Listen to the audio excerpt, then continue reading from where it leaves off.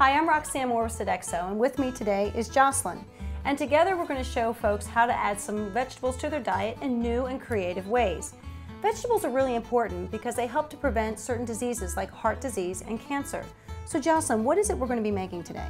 Today we'll be making tuna boats and spinach salad. Well, that sounds like the perfect lunch to me. Our two large cucumbers have been washed, peeled, and cut lengthwise. Now scoop out the inside of the cucumber. Next mash one can of white beans with a fork.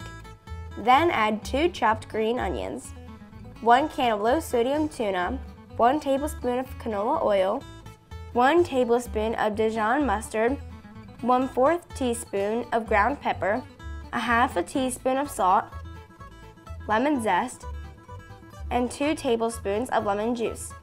And then mix it all up with a fork. Now fill each cucumber with some tuna mixture. And that's it. Wow, what a great alternative to the traditional tuna sandwich. You could even add some diced peppers or carrots or even celery for some additional crunch.